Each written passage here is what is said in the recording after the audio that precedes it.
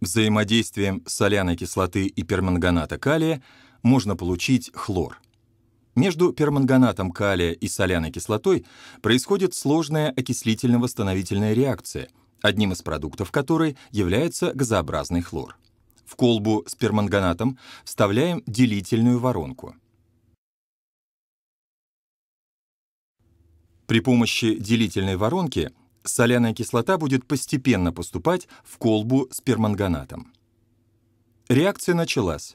В колбе заметно появление желто-зеленого газа хлора. Хлор — тяжелый газ. Он постепенно заполняет колбу, и по трубке опускаются в сосуд.